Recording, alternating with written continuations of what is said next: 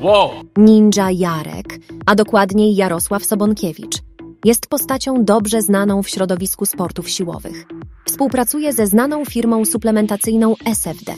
Jarek ma ze swoją żoną dziewięcioletnią córkę o imieniu Linda. Na swoim YouTube od wielu lat wrzuca filmiki z treningów. Jak sam twierdzi, swoją sylwetkę zbudował w sposób naturalny. Ninja w wieku 17 lat zaczął mieć problemy z alkoholem i narkotykami. W wieku 19 lat trafił do więzienia za swoje wybryki. W 2008 roku wyjechał pracować do Holandii. Po wyjściu z więzienia wziął udział w zawodach Strongman. W 2023 roku podpisał kontrakt z Federacją Cloud.